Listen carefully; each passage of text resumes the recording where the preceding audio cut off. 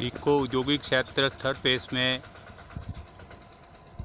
कचरे के ढेर, सलज के ढेर, रोड की हालत बेबुनियाद बनी हुई है। कभी कोई अधिकारी या रिको कर्मचारी इस पर कोई तरह का ध्यान नहीं दिया दिया जा रहा है। हज़ारों बार कंप्लेंट कर चुके हैं प्रदूषण नियंत्रण पर्यावरण संरक्षण समिति द्वारा, परंतु आज दिन तक किसी भी वसादी नाले में सलज बह दी जा रही है।